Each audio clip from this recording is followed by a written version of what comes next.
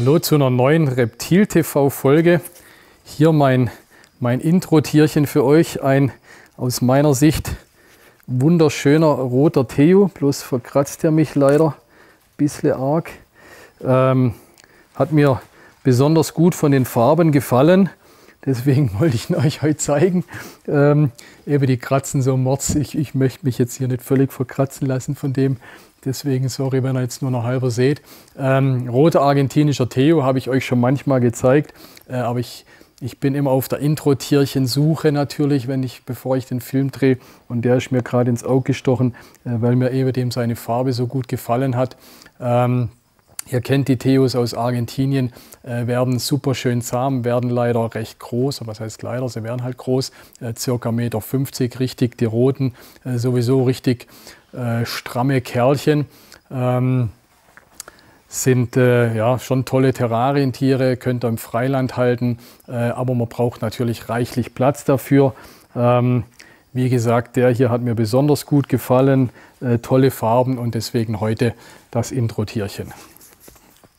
Da sind wir dann schon im Thema eigentlich auch drin. Das Thema heute, welche Echse passt zu mir, ähm, möchte ich auch mal unterteilen in zwei Kategorien sozusagen. Es gibt eher so die Wüstenbewohner und es gibt eher so die tropischen, sprich etwas feuchteren äh, Wald-, Regenwaldbewohner bei den Echsen. Ne? Ähm, Fangen wir mit den Wüstentieren an, wie es der Name sagt. Die wollen es äh, recht trocken, die wollen es sehr heiß. Äh, die, die Lichtintensität spielt da auch eine Riesenrolle. Ne? Ihr müsst wirklich, äh, das A und O von, von dieser Haltung ist ein, ein äh, warmes und vor allem helles Terrarium, super ausgeleuchtet, starke Strahler, die hell machen, die, die eine große Wärme abgeben. Äh, das ist so die, das Grundelement der Wüstenechsen-Terroristik. Ne? Ähm, die meisten davon sind eher Bodenbewohner, die klettern auch mal ein bisschen, aber bleiben eher auf dem Boden. Äh, fast alle sind tagaktiv, äh, eben die, die leben in der, in der Sonne, die leben oder mit der Sonne. Ähm, ich, ich, möchte das Wort Wüste auch gleich noch mal ein bisschen relativieren. Ich spreche natürlich jetzt nicht von der Sandwüste, sondern ich äh, spreche eher von ähm, heißen, äh, sagen wir mal, Halbwüsten als Überbegriff. Ne? Also nicht, dass man sich jetzt hier die Sanddünen vorstellt, wo die rumrennen, sondern äh, ich spreche von den ja, sozusagen Halbwüste, Savanne, Steppe, Trockensteppe, so in die Richtung gehend. Ne? Die einzige Ausnahme, was ich auch in diesen Wüstenbegriff fasse, sind die Leopardgeckos. Ähm, auf die komme ich gleich nochmal direkt äh, zu sprechen. Der Klassiker unter den Wüstenechsen äh, ist natürlich die Badagame. Ne? Ähm, das, das Lustige heute ist, ich habe tatsächlich keine Badagame zu zeigen. Ich glaube, ich mache seit über 30 Jahren äh, diese Terroristik. Ich glaube, es gab noch nicht einen Tag, wo ich ohne Badagame war, aber jetzt ist tatsächlich so, ich habe nicht eine Badagame da. Äh, deswegen blenden wir es euch hier ein. Ähm, gibt die hauptsächlich die zwei für die Terroristik wichtigen. Die normale große Badagame Pogona viticeps äh, wird mit Schwanz 50, 60 Zentimeter lang, also doch echt eine stattliche Größe. Äh, seid euch bewusst, ihr braucht ein großes Terrarium mit Meter 50 bis 2 Meter, Meter Tiefe. Ne? Also da müsst ihr ordentlich Platz bieten. Oder die, die Zwergbadagamen, die Pogona Henry Lorsoni, die bleiben deutlich kleiner, äh, vielleicht so 25 cm mit Schwanz, äh, da könnt ihr mit einem Meter 20, Meter 50 Terrarium kommt er dahin. Vom Verhalten her, von der Art her, von allem her sind sie gleich. Äh, sind wirklich tolle Terrarientiere, machen wirklich Spaß, lassen sich gut züchten, äh, sind unheimlich zutraulich, sind nie scheu, nie aggressiv. Also wirklich ein tolles Terrarientier. Ähm, deswegen auch der Klassiker in der Terroristik. Dann haben wir hier was aus meiner Sicht besonders hübsches, äh, ein Dornschwanzagame, in dem Fall äh, Uromastix jemenensis, ne, auch eine relativ seltene Dornschwanzagamenart, ähm, wobei die Dornschwänze ähm, relativ ähnlich aussehen. Ähm, die Dornschwänze sind äh, vom Wesen, von der Art her ähnlich wie die Badagamen, äh, sind vielleicht noch gleich ein gechillter, äh, stehen morgens ein wenig später auf, gehen ein wenig früher ins Bett, äh, wachsen entsprechend langsamer, also haben ein bisschen niedrigeren Stoffwechsel, sind auch von der Ernährung äh, vielleicht, ich würde mal sagen, ungefähr 50 Prozent äh, vegetarisch zu ernähren, ne? fressen irgendwelche Pflanzen oder Körner oder Samen. Ähm, wirklich ein absolut tolles Terrarientier, Wüstentier. Ähm, ich bin schon immer Fan, war meine, meine erste Echse übrigens, war eine Dornschwanzagame. Und ähm, von der Größe, je nach Art, äh, werden die so zwischen knapp 40 bis, äh, es gibt richtig große, die Ägypticus zum Beispiel mit um die 70 Zentimeter, äh, aber gerade so die kleineren äh, mit ja, 30, 35, 40 Zentimeter, Nicriventris zum Beispiel. Ähm, wirklich ein ganz tolles Terrarientier. Ich hatte es vorher schon kurz angesprochen, die, die Ausnahme äh, betreffs Tag und Nacht aktiv ist hier der, der Leopardgecko, hier so ein hübscher äh, Tangelo, äh, tolle Farbe. Ne? Ähm, die Leopardgeckos sind eher dämmerungsaktiv. Ne? Sie sind, ja, ich würde mal äh, Steppen-, Halbwüstenbewohner äh, sagen, aber sie kommen in der Dämmerung raus. Ähm, das heißt, wenn man ja, zum Beispiel hingeht, man kann 17 Uhr zum Beispiel das Licht ausmachen, dann sind die am Abend, fangen die an aktiv zu werden, äh, gehen auf Nahrungssuche, gehen auf Jagd. Also ich glaube, das äh, tut der Popularität oder der ähm, der, der geeignet sein für die Terroristik kein Abbruch. Ähm, manche sagen, oh, die sind ja nacht- oder dämmerungsaktiv, das will ich nicht. Aber ich glaube, gerade zu der Zeit, wo die aktiv sind am Abend, das ist ja auch die Zeit, wo man zu Hause ist. Und dann kann man die auch toll beobachten und man sieht denen ihr Verhalten. Ähm, eben schon allein deswegen äh, sind sie, ich würde sagen, mit oder nach den Bardergamen mit die beliebtesten Terrarienechsen geworden in den letzten Jahren, äh, auch durch die Variabilität und durch die vielen hübschen Farben, die die haben. Ne? Also äh, so eine Farbe, die ich jetzt hier habe, das wäre vor ein paar Jahren noch undenkbar gewesen. Äh, mittlerweile sind die wirklich äh, für erschwingliches Geld in so tollen Farben zu bekommen. Äh, von der Größe her das ist hier so ein subadultes bis adultes Tier, also viel größer werden die Leopardgeckos nicht. Ist wirklich ein tolles Terrarientier, lässt sich in so einem 80, 100 Zentimeter Terrarium toll halten, lässt sich toll vermehren. Äh, immer nur ein Männchen. Äh, Weibchen könnt ihr mehrere reinmachen ins Terrarium. Die Weibchen vertragen sich untereinander. Und ähm, dann habt ihr wirklich ein ganz tolles, interessantes Terrarientier. Dann hier auch wirklich ein ein hübsches Terrarientier. Ich muss mich mal irgendwie wegen versuchen zu euch zu drehen. Die ist so auf mich fokussiert. Okay, will sie nicht. Ähm, australische oder beziehungsweise äh, auf Neuguinea lebende äh, Kragenechse Chlamydosaurus kingi. Ähm, ein tolles Terrarientier, äh, gar nicht so leicht zu kriegen, aber ist doch auch, äh, wird in der Terroristik gezückt, äh, gezüchtet, äh, bekommt man auch. Äh, bisschen äh, geht auch gleich in die Höhe vom Terrarium. Ne? Also nicht ganz, jetzt hat man mit den Dornschwänzen und den, äh, den Bardergamen hat man jetzt eher Bodenbewohner. Die Kinkis kann man gleich ein höher halten. Ähm, aber schon vom, von der Lebensweise ähnlich wie das, was wir jetzt gerade schon gesehen haben. In der Regel auch richtig umgängliche, äh, zutrauliche Terrarientiere. Hier habe ich gerade witzigerweise äh, eine, die das äh, wahrscheinlich noch nicht so richtig verstanden hat, dass sie dass ich ihr nichts tue. Äh, dadurch stellt sie ihren Kragen so schön. Ne? Wenn, die, wenn die eingewöhnt sind, dann machen sie es eigentlich so gut wie gar nicht mehr. Ähm, das ist ja so ein Abwehrverhalten von denen. Aber wirklich ein tolles Terrarientier und freue mich, dass ich die euch heute äh, in, dem, in der Folge auch zeigen kann. Für die Wüstenterroristik interessant sind auch die äh, einige kleinbleibende Wüstenwarane, zum Beispiel der Stachelschwanzwaran aus Australien. Äh, auch ein tolles Terrarientier, äh, auch Wüstenklima oder äh, Halbwüstenklima. Ähm, die Tiere werden so um die 40, 50 Zentimeter lang, wobei äh, über die Hälfte davon auf den Schwanz fällt. Also ihr braucht so ein Meter 20 bis Meter 50 Terrarium. Ähm, wirklich ein, ein tolle Terrarientiere lassen sich auch äh, vermehren im Terrarium. Äh, werden seit vielen Jahren oder Jahrzehnten in der Terroristik gehalten. Ähm, allerdings ist es nicht ganz so leicht, die zu züchten, wie jetzt zum Beispiel eine Bardagame. Ne? Das seht ihr, die Tiere sind äh, dadurch auch nicht so viel oder nicht so oft erhältlich. Ähm, ist nach wie vor ein, ein seltenes, ich würde mal sagen, wegen, wegen Insider- oder Insider-Terrarianer-Tier, aber wirklich ein äh, tolles, geeignetes Tier für die Terroristik. Ähnlich ist es ein bisschen mit den Stachelleguanen, beziehungsweise nein, es ist eigentlich nicht ähnlich. Also die Stachelleguane waren vor 10, 20 Jahren, hat man viel so Sceloporus cyanogenes oder Sceloporus äh, malachiticus ähm, oder andere Stachelleguanarten äh, in der Terroristik gehabt. Ne? Die, die Stachelleguane kommen aus äh, Nord- bis Mittelamerika, äh, sind dort relativ häufig zu finden in den in heißen äh, Wüsten, Halbwüstengebieten. Ähm, wie gesagt, vor, vor 20, 25 Jahren, wo ich mit der Terroristik angefangen habe, oder vor 30 Jahren, äh, da hat man die eigentlich noch recht viel gesehen in der Terroristik. Die letzten Jahre sind die immer weniger geworden. Ich denke, das liegt zum einen daran, dass man keine Wildfänge mehr aus der Natur bekommt, was ja eigentlich gut ist. Aber leider äh, haben auch die oder wir Terrarianer die Tiere die letzten Jahrzehnte nicht mehr viel nachgezüchtet.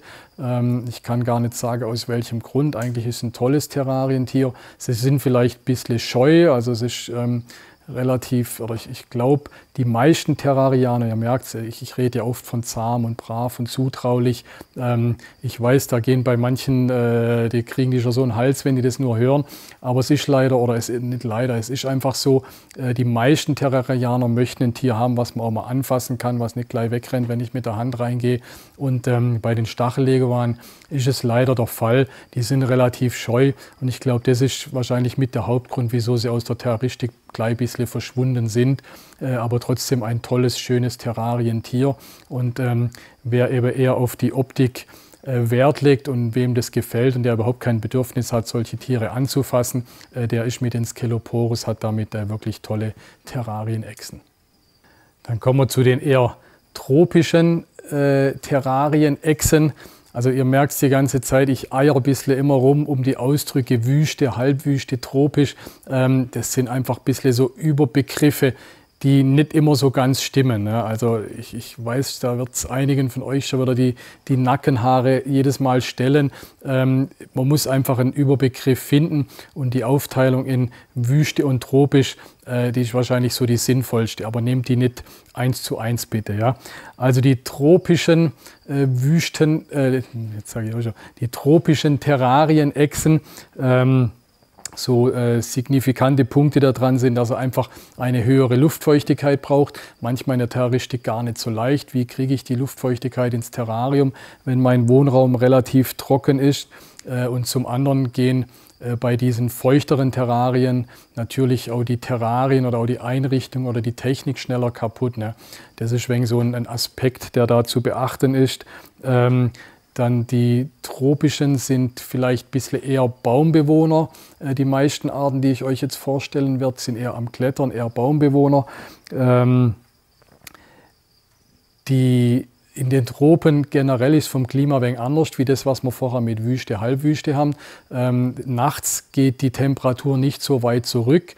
Äh, das heißt, es gibt auch einige äh, tropische Terrarientiere, wo ich nachts bei den Echsen heizen muss. Ne? Also wo ich nachts vielleicht auch 22 bis vielleicht 25 Grad brauche. Das heißt, ich muss auch gucken, wie ich das Terrarium nachts beheize. Ne?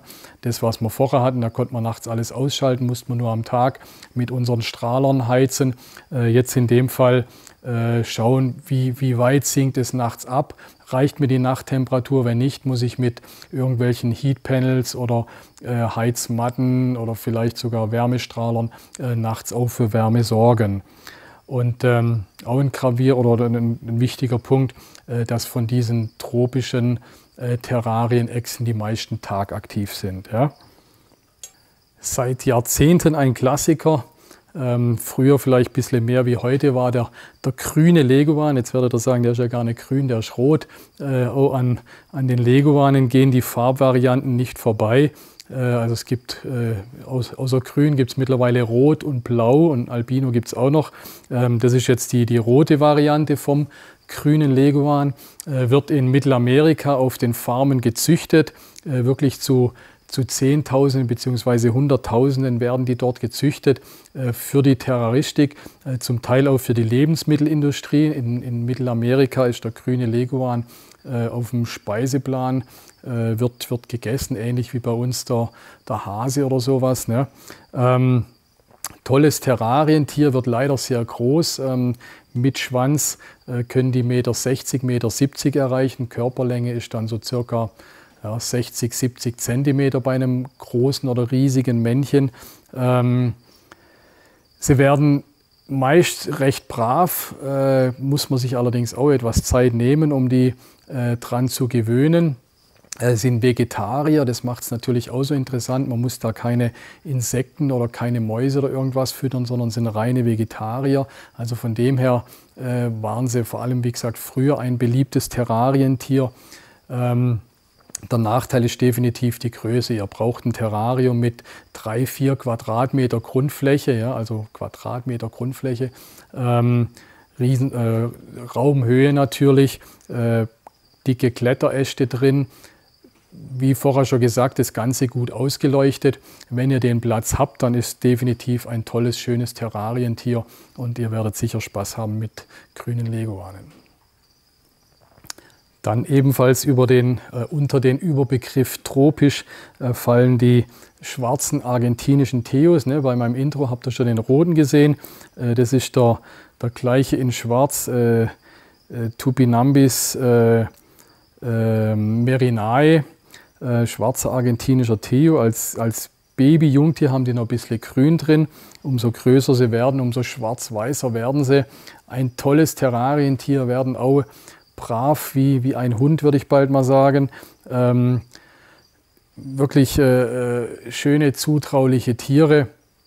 Ähm, lassen sich gut halten. Im Sommer kann man sie, im, oder man kann sie die, die meiste Zeit vom Jahr sogar im, im Freiland halten, wenn man die Möglichkeit hat. Werden relativ groß. Äh, so ein, ausgewachsener Schwarzer kann äh, mit Schwanz 1,20 Meter, 20 Meter 30 haben, äh, ungefähr knapp die Hälfte ist dann Körper. Ne? Also so ein ausgewachsenes äh, schwarzes Männchen kann äh, 50, 60 Zentimeter Körperlänge erreichen oder Kopfrumpflänge erreichen. Also von dem her, wenn ihr sowas halten wollt, braucht ihr auch viel Platz. Aber dann ist ein ganz tolles, ähm, äh, äh sympathisches Terrarientier. Dann habe ich hier einen jungen Kronenbasilisk für euch, Lemanctus longipes. Äh, auch tolles Terrarientier.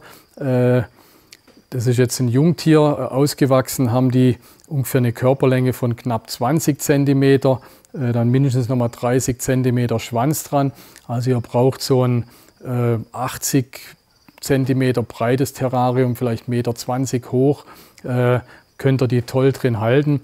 Auch toll ist, die sind parthenogenetisch, das heißt mit einem Weibchen oder ein Weibchen vermehrt sich ohne Männchen, legt Eier und ihr könnt die mit einem Tier züchten sozusagen.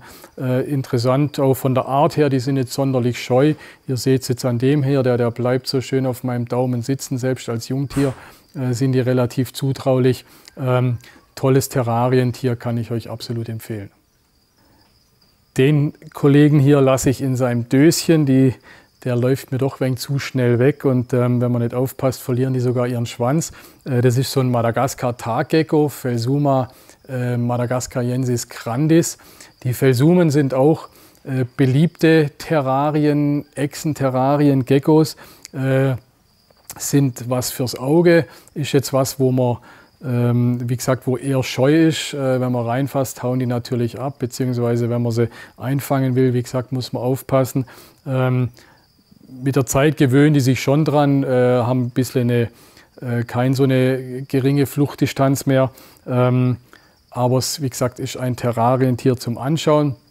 Kann man schöne äh, tropische Regenwaldterrarien einrichten, so mit Bambus, mit Pflanzen. Ähm, ist wirklich äh, was, ähm, also wo, wo das Ganze, die Deko, die Bepflanzung auch eine große Rolle spielen kann, wenn man das mag. Äh, die Tiere werden, das ist jetzt ein halbwüchsiges Tier, äh, die Grandis, wie der Name schon sagt, sind, mit, sind eine der größten Felsumenarten, werden mit Schwanz äh, circa 30 cm und sind auch schon seit Jahrzehnten in der Terroristik recht beliebt, lassen sich gut züchten, legen dann in regelmäßigen Abständen zwei Eier, die nach einiger Zeit die Jungtiere ausschlüpfen. Also auch ein schönes Terrarientier ähm, gehört sicherlich in die, in die Rubrik der klassischen Terrarienechsen. Dann haben wir hier nochmal einen hübschen Gecko, äh, aktuell auch unter der, unter der Top 10 der Terrarientiere recht weit oben, würde ich sagen. Äh, ein Kronengecko, äh, Rhacodactylus äh, ciliatus. Ähm, sind wirklich äh, schöne, dankbare Geckos. Achso, da fällt mir einfach, habe ich gesagt, die meisten tropischen Geckos sind tagaktiv. Also diese Kronengeckos sind ebenfalls eher dämmerungsaktiv, äh, ähnlich wie die Leopardgeckos vorher. Ähm, am Abend, wenn das Licht ausgeht, äh, kommen die raus. Ähm, sind von, der, vom, von den Ansprüchen her äh, relativ einfach zu erfüllen. Die wollen es gar nicht so warm, also Mitte 20 Grad. Äh, von, der, von der Beleuchtung her ähm, ebenfalls keine so übermäßig starke Beleuchtung. Ähm, lassen sich toll züchten, toll halten, äh, sind mal mindestens zu, zu 50 Prozent vegetarisch, also fressen solche Fruchtbreie, ne, kann man den, macht man so einen Fruchtbrei rein, äh, von dem die sich ernähren, äh, tut ein, zweimal die Woche Insekten zufüttern. Ähm, wirklich ein, ein tolles Terrarientier, das wie gesagt die letzten äh, zehn Jahre auch einen recht tollen Boom erlebt hat. Zu guter Letzt noch ein tolles Terrarientier. Äh, der steht irgendwo wenig zwischendrin, zwischen tropisch und Wüste. Also letztendlich ist es ein Savannentier, beziehungsweise kommt aus dem gleichen Lebensraum wie die Königspynons aus der westafrikanischen äh, Feuchtsavanne. Also ich würde ihn trotzdem eher unter die tropischen einordnen. Ähm, der, liebt, der liebt die Sonne, der liebt die Wärme am Tag äh, braucht aber nichtsdestotrotz trotzdem äh, hohe Luftfeuchtigkeit, äh, braucht nachts äh, noch eine relativ hohe Wärme von 25 Grad. Ähm, ich weiß gar nicht, habe ich den Namen schon gesagt, Steppenvaran, Varanus äh, exanthematicus werden, ist ein relativ großer Varan. Die Männchen werden mit Schwanz so circa 100 oder gar über 100 Zentimeter, die Weibchen so mit 60, 70, 80 Zentimeter bleiben die etwas drunter. Tolles Terrarientier, wird, wird schön brav, kratzt ein bisschen, deswegen hier meine, mein vorsichtiges Handling. Und wenn er jetzt mal meine Arme anguckt, das ein Tag Reptil-TV drehen, dann endet man leider doch immer recht verkratzt. Das, das probiere ich immer gleich ein zu vermeiden. Lässt sich leider nicht ganz vermeiden. Ähm, also so viel zum Steppenwaran ein tolles tropisches Terrarientier. Wenn ihr den Platz zur Verfügung habt, äh, Terrarium circa, äh, ja, ihr braucht auch mindestens zwei bis drei Quadratmeter Grundfläche, wenn der ausgewachsen ist. Aber dann lassen die sich toll in der Terroristik halten und äh, habt ihr sicherlich auch eine Freude an dem Tier. Das war jetzt wieder der Versuch, in möglichst kurzer Zeit euch einen Überblick zu geben äh, über ein relativ großes Thema. Deswegen, ähm, wir haben es beim Film oder ich fand, ich, ich selber hatte das Empfinden, dass man alles nur so kurzweg anschneidet.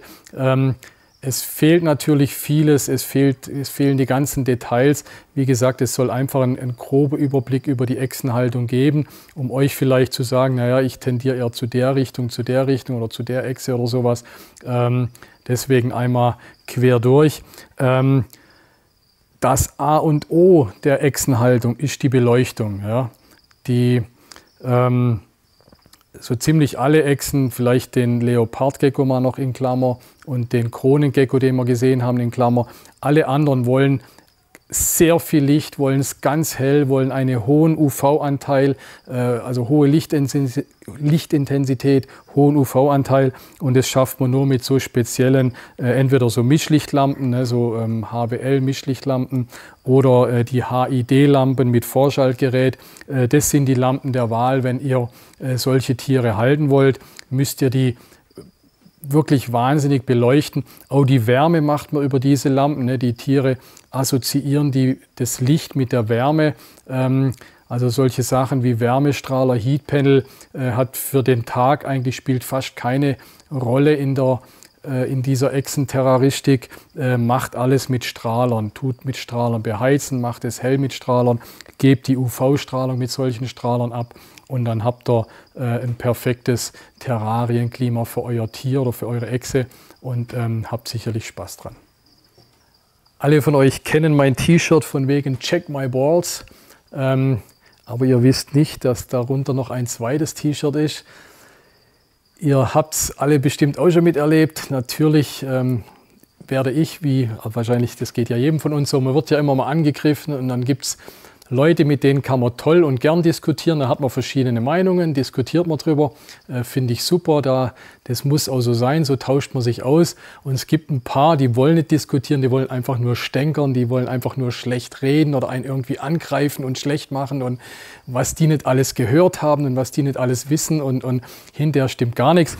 Und für die habe ich mein zweites T-Shirt, ähm, was ich hier drunter trage und es mir dann dabei hilft, solche Dinge zu verkraften, dann denke ich mir diesen Spruch und dann ist alles wieder gut. Und äh, das ist so die, die einzige Antwort, die man manchmal geben kann, wenn man, wenn man merkt, dass man mit der, äh, wie nennt man oder wie sagt man dazu, die, die Waffe des Wortes nicht weiterkommt, dann hilft nur noch das hier. Und wer noch mehr von uns sehen will, hier unser letztes Video könnt ihr euch anschauen oder hier ein zufällig für euch ausgewähltes Video. Und besonders wichtig, wie bei YouTube immer, äh, abonniert unseren Channel, gebt uns einen Daumen hoch, macht die Glocke an, dass es immer aufpoppt. Und wenn ihr Terrarienprodukte braucht, schaut in den Shop rein.